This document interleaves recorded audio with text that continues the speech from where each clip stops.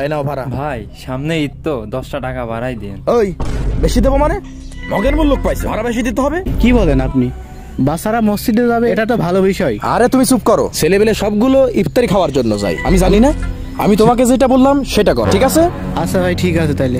ডান পাশে একটা নক আছে মার মার মার। এই রিভাইভ দে রিভাইভ দে। কি ব্যাপার? দোকান বন্ধ কেন?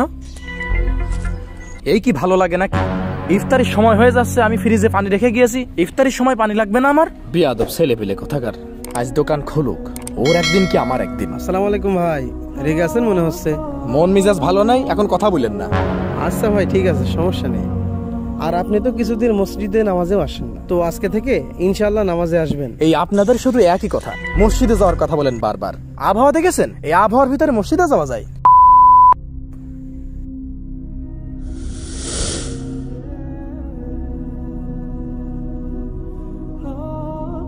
আল্লাহ এই রোদের ভিতরে কি ভ্যান চালানো যায়? কি ব্যাপার? ভ্যান কোথায়? এই ভ্যান এই এইদিকে আসো। এই তো ভাই আসছি। যাক অনেক সময় পর একটা প্যাসেঞ্জার পেয়েছি। না ইফতারির সময় হয়ে গেল এই তাড়াতাড়ি আসো।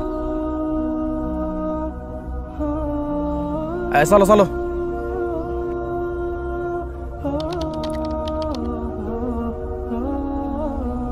এই রাখো রাখো এখানে রাখো। এই নাও ভাড়া। ভাই সামনে ঈদ তো দশটা টাকা বাড়াই দিন ওই বেশি দেবো মানে? মগের মূল লোক পাইছে ভাড়া বেশি দিতে হবে? আসলে তোমাদের অভাব না তোমাদের স্বভাব নষ্ট। ঈদের সময় আসলে তোমাদের অভাব বেড়ে যায় তাই না? তাই না ধরো। যত সব।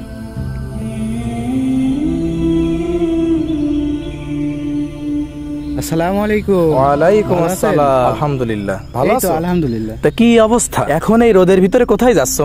ভাই মসজিদে আজকে ইফতারি দিব তো তাই একটু কেনাকাটা করতে যাচ্ছি। ও আচ্ছা। নামাজে যাবার খোঁজ থাকে না এখন আবার ইফতারিতে বুঝতে পারিস ঠিকই বলেছিস। হুম। ভাই কিছু বললেন নাকি? না সেরকম কিছু না। তাহলে ভাই আপনি অবশ্যই কিন্তু যাবেন আপনার দাওয়াত থাকল। আচ্ছা ঠিক আছে। তবে শোনো আমার একটা কথা শোনা লাগবে। তোমাদের এই মসজিদে অতিরিক্ত পরিমাণে ছেলে বেলে যায় ঠিক আছে? ওরা একটাও রোজা থাকে না আর প্রত্যেক দিন মসজিদে যায় অতিরিক্ত পরিমাণে চিল্লা চিল্লি করে। আমার এই জিনিসটা কিন্তু একেবারেই পছন্দ না। ভাই কি বলেন আপনি? বাসারা মসজিদে যাবে এটা তো ভালো বিষয়। আরে তুমি চুপ করো। ছেলেবেলে সবগুলো ইফতারি খাওয়ার জন্য যায়। আমি জানি না। আমি তোমাকে যেটা বললাম সেটা কর ঠিক আছে? আচ্ছা ভাই ঠিক আছে তাহলে আসি। আসসালামু আলাইকুম। ওয়ালাইকুম আসসালাম। আইসে নামাজে ঠিক থাকে না ইফতারি দেবে?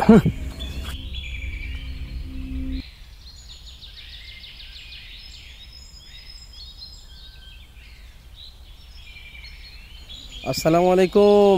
ওয়ালাইকুম আসসালাম। কি অবস্থা? ভালোই আছেন তো? আছি আলহামদুলিল্লাহ ভালোই। তো আপনারা কি বিষয় নিয়ে কথা বলছিলেন? সেই কথা শুনবেন। তাহলে শোনেন এই যে বাসার আছে না এই বাসারের সাথে কালকে দেখা হলো। ও তো নামাজ পড়তে একক তো মসজিদে যায় না।